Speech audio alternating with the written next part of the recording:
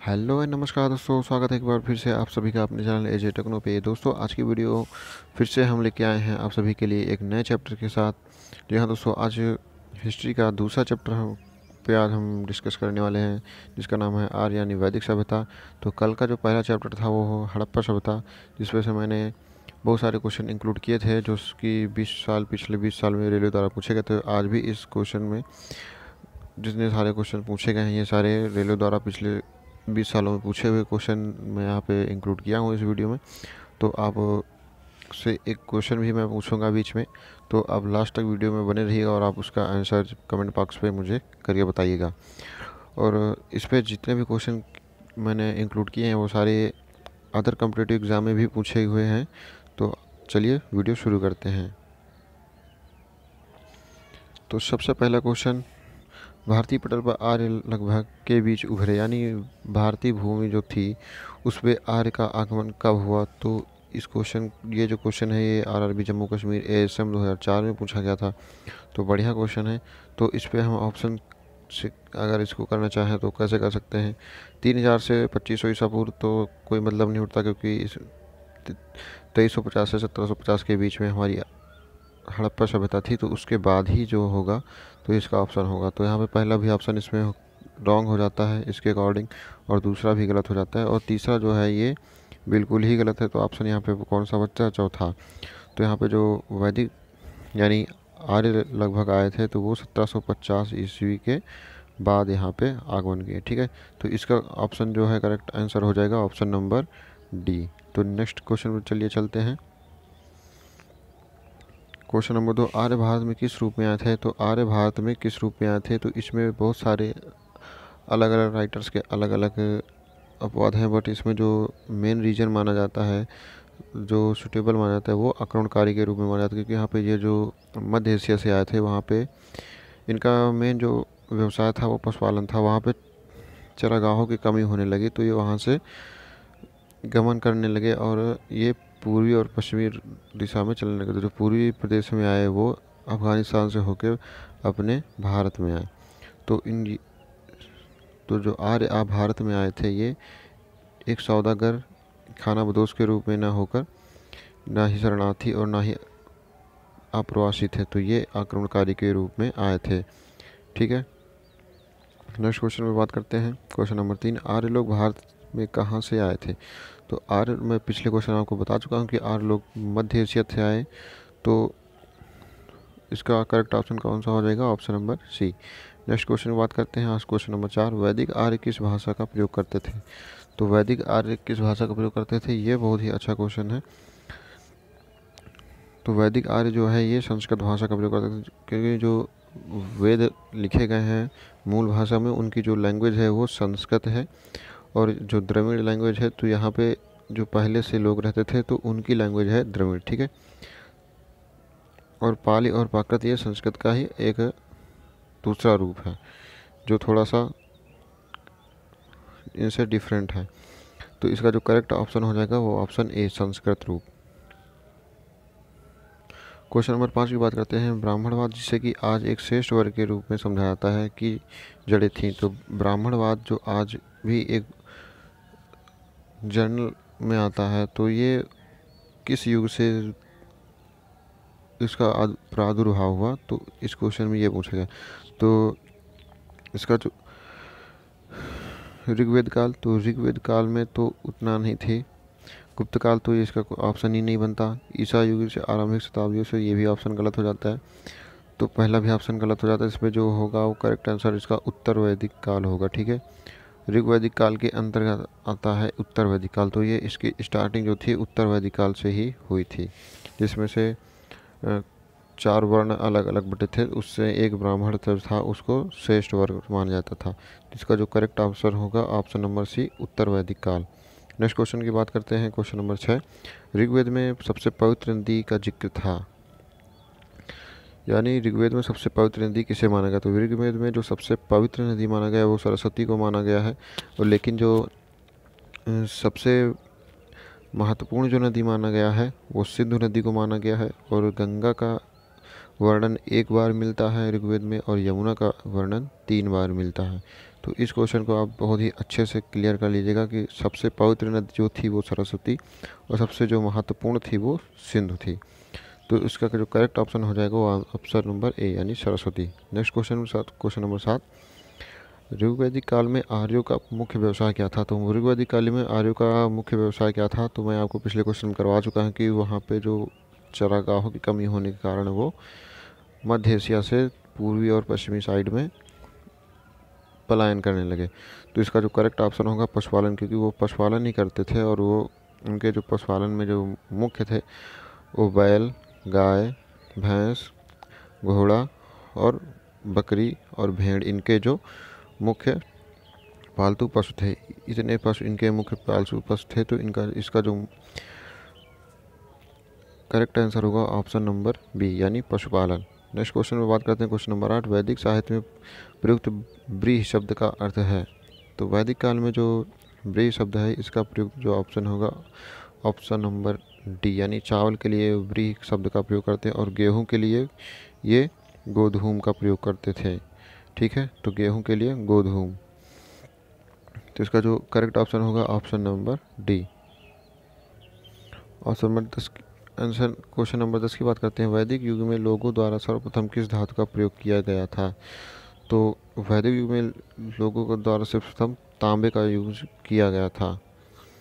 और जबकि हड़प्पा सभ्यता में कांस्य का यूज़ किया गया था। हड़प्पा सभ्यता में कांस्य युगीन, यानी कांसा का प्रयोग किया गया था। तो इसका जो करेक्ट ऑप्शन हो जाएगा, इसका करेक्ट ऑप्शन हो जाएगा क्वेश्चन ऑप्शन नंबर डी यानी तांबा।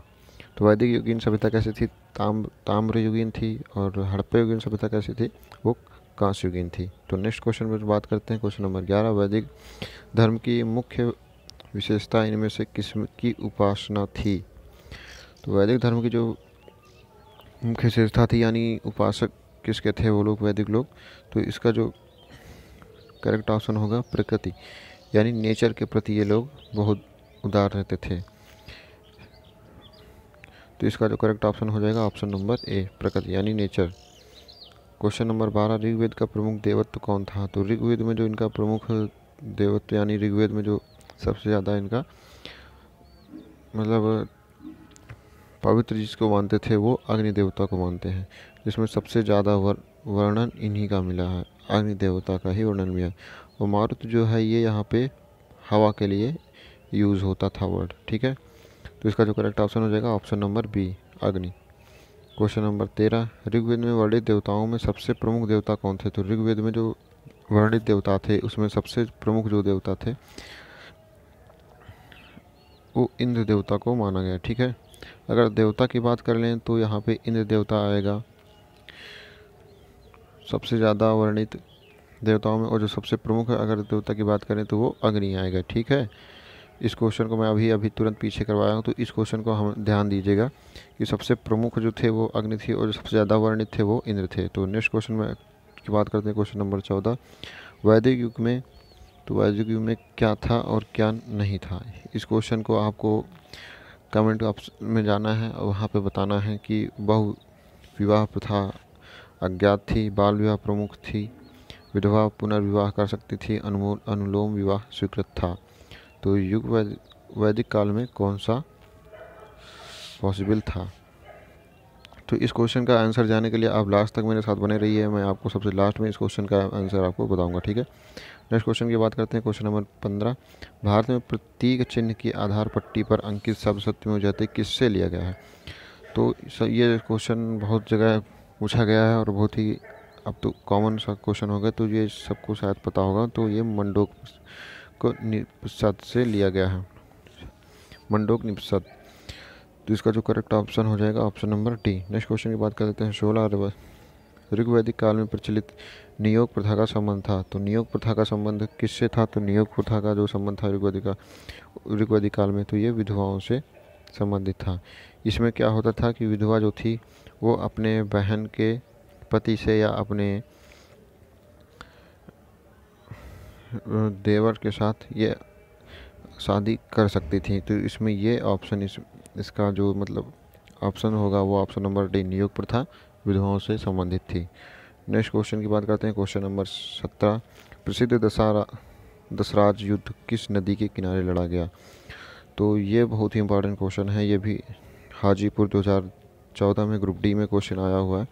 तो ये दसराज युद्ध जो हुआ था, ये रावी नदी के किनारे हुआ था, जिसमें इसका आपको मैंने डिस्क्रिप्शन भी दिया। अब यहाँ पे इसका डिस्क्रिप्शन भी पढ़ सकते इसका जो करेक्ट ऑप्शन होगा वो ऑप्शन नंबर होगा ए रावी नदी किनारे। क्वेश्चन नंबर अट्ठारह की बात करते हैं। निम्न में किसे प्रजापति की जुड़वा पुत्री भी कहा गया है? तो ये भी एक क्वेश्चन अपने आप में बहुत अच्छा है। एस एम और गुड्स कार्ड भोपाल में आया हो। दो, दो हज़ार दस में क्वेश्चन आया हुआ है। तो निम्न में किसे प्रजापति की जुड़वा पुत्री कहते हैं?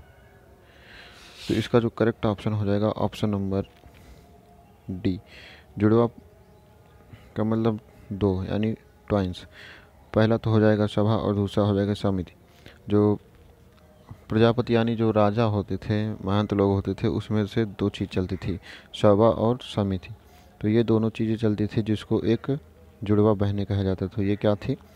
इसका जो करेक्ट ऑप्शन हो जाएगा ऑप्शन नंबर डी यानी सुबह और समिति. जो नेक्स्ट क्वेश्चन की बात करते हैं। क्वेश्चन नंबर उन्नीस, वैदिक समाज में गाँव का प्रमुख था। तो वैदिक सम, ये भी क्वेश्चन एक बहुत अच्छा है कि वैदिक समाज में गाँव का प्रमुख किसे कहते थे ग्रामणी। और उसके जो ऊपर जो आता था, वो होता था प्रमुख। और ग्रामणी से नीचे जो आता था, वो होता था मुखिया। यानी हर एक घर का एक मुखिया होता था और एक गाँव का जो मेन होता था वो ग्रामणी होता था। उसके ऊपर जो कई दो चार गाँव को मिला के होता था, वो होता था, प्रमुख होता था।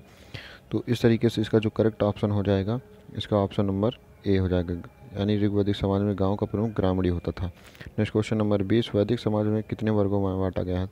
तो वैदिक समाज को चार वर्णों में बांटा गया तो आपको सबको पता होगा कि वैदिक समाज को चार वर्णों में बांटा गया ठीक है? नेक्स्ट क्वेश्चन की बात करते हैं, क्वेश्चन नंबर इक्कीस। आर्य सभ्यता के किस कालखंड में महिलाओं की स्थिति अच्छी थी? तो ये भी क्वेश्चन एक अपने आप में बहुत अच्छा है। तो आर्य समाज में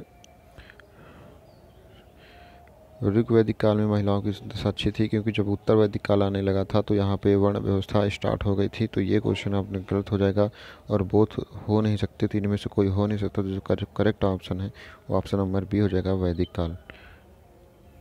क्वेश्चन नंबर बाईस की बात करते हैं। वैदिक प्रशासन में सर्वाधिक महत्व किसका था? तो वैदिक काल में जो सबसे ज़्यादा प्रशासन, यानी महत्व जो था, वो था पुरोहित का। जो पुरोहित होता था, वो एक राजा का ही नाम होता था, जो दूसरा नाम होता था राजा का, ये होता था पुरोहित, ठीक है? तो इसका जो करेक्ट ऑप्शन हो जाएगा, वो हो जाएगा ए। इसका जो सेनानी होता, जो सेनापति होता था, उसे सेनानी कहते थे। तो इसका जो करेक्ट ऑप्शन है, ऑप्शन नंबर ए, पुरोहित। नेक्स्ट क्वेश्चन की बात करते हैं। ऋग्वैदिक आर्य निम्न से किससे परिचित नहीं थे? तो ऋग्वैदिक जो आर्य थे, वो किस चीज़ से परिचित नहीं थे? तो ये यहाँ, इसका जो भी ऑप्शन है तो ये पीतल एल्यूमिनियम पीतल एल्यूमिनियम, कोयला, पेट्रोल आदि से परिचित तो थे, बट ये लोहे और समुद्र से परिचित नहीं थे। यहाँ पर ऋग्वैदिक, ध्यान दीजिएगा ऋग्वैदिक काल की बात की गई है तो ये लोहे और समुद्र से परिचित नहीं थे। जबकि अगर उत्तर वैदिक काल बोला जाए तो यहाँ पे, सॉरी, अगर ये अगर बात की जाए 800 सौ ईसा ईसा पूर्व से 600 सौ ईसा पूर्व की तो इस कालखंड के बीच में ये लोग लोहे से परिचित हुए थे। ये ऋग्वैदिक काल में नहीं तो ऋग्वैदिक काल की स्टार्टिंग कहाँ हुई? सत्रह सौ पचास ईस्वी के समथिंग मानी जाती है। तो इसका जो करेक्ट ऑप्शन होगा ऑप्शन नंबर सी, लोहे और काश है नेक्स्ट क्वेश्चन पे चलते हैं। आर्य सभ्यता में राजकीय आय का प्रमुख स्रोत क्या था? तो आर्य सभ्यता का राजकीय आय का प्रमुख स्रोत क्या था? तो वो भू राजस्व था। जो लोग अपने खेती करते थे, जितने उनका चरागाह होता था, उस पर जो, और जितने उनके पशु होते थे, दुधारू पशु, उस पर जो टैक्स लगता था, उसी से इनका जो है राजकीय कोष चलता था। तो इसका जो करेक्ट ऑप्शन हो जाएगा, option number A. Question number पच्चीस निम्न में कौन सा ग्रंथ उत्तर वैदिक काल में बारह राजाओं की सूची पेश करता है? ये भी एक क्वेश्चन ए एस एम दो हज़ार आठ में आया हुआ है इलाहाबाद में। ये क्वेश्चन बहुत ही अच्छा क्वेश्चन है, क्योंकि ग्रुप सी में पूछा गया क्वेश्चन है। तो इसका जो करेक्ट ऑप्शन हो जाएगा एत्रेय ब्राह्मण। एत्रेय ब्राह्मण में जो उत्तर वैदिक का उत्तर वैदिक काल के आठ राजा थे अलग अलग तो उसका यहाँ यहाँ पे पूरा वर्णन यहाँ पे ऐतरे ब्राह्मण में मिलता है। तो ये क्वेश्चन बहुत ही इंपॉर्टेंट क्वेश्चन है। आप इसको टिक कर लीजिएगा, इसको नोट कर लीजिएगा, ठीक है? नेक्स्ट क्वेश्चन की बात करते हैं। क्वेश्चन नंबर छब्बीस। मोक्ष की प्राप्ति के लिए चार आश्रमों का उल्लेख सर्वप्रथम मिलता है। तो मोक्ष की प्राप्ति के लिए चार आश्रमों का उल्लेख जो सबसे पहले जो मिलता है वो जबालोपनिषद में मिलता है, यानी क्वेश्चन ऑप्शन नंबर डी इसका ऑप्शन नंबर डी होगा। नेक्स्ट क्वेश्चन की बात कर लेते हैं। क्वेश्चन नंबर सत्ताईस, निम्न में किस राजा, किस यज्ञ के अवसर पर आयोजित होने वाले रथ दौड़ में राजा के रथ को जिताया जाता था?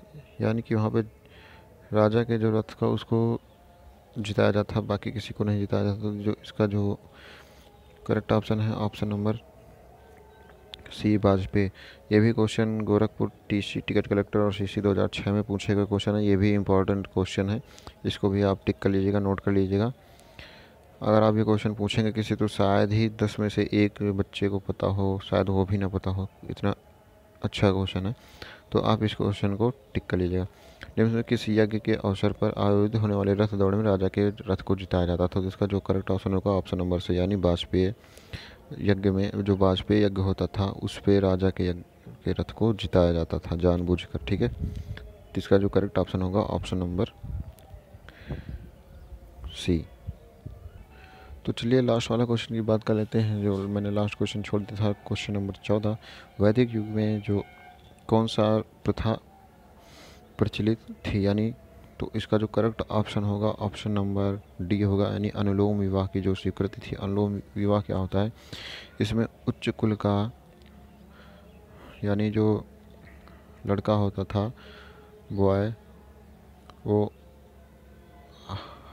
उच्च कुल का हो सकता था, लेकिन जो गर्ल होती थी, वो निम्न कुल की हो सकती थी। ठीक है? तो इन दोनों के बीच में आपस में इसकी शादी हो सकती थी, यानी उच्च कुल का लड़का और निम्न कुल की लड़की का जो संबंध होता था, उसे कहते थे अनुलोम विवाह। तो इसका जो करेक्ट ऑप्शन होगा ऑप्शन नंबर डी तो ये प्रथा यहाँ पे प्रचलित थी यानी स्वीकृत थी। तो उम्मीद करता हूँ दोस्तों वीडियो आपको पसंद आई है। अगर वीडियो पसंद आई तो वीडियो को लाइक कीजिएगा और शेयर कीजिए। कोई भी डाउट है, किसी भी क्वेश्चन में तो आप कमेंट कीजिएगा। पूरी रिप्लाई हंड्रेड परसेंट मिलेगा। और बने रहिएगा हमारे साथ।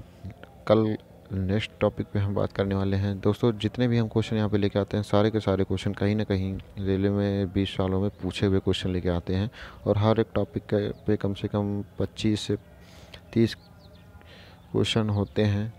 और अगर आप डेली इतने ही क्वेश्चन करेंगे तो आपका जो जीएस है, एक तरीके से वो बहुत ही मज़बूत होगा और ये क्वेश्चन बहुत सारे कम्पिटेटिव एग्ज़ाम में पूछे जाते हैं। तो आज के लिए इतना ही। मिलते हैं अगले वीडियो में। तब तक के लिए जय हिंद, जय भारत।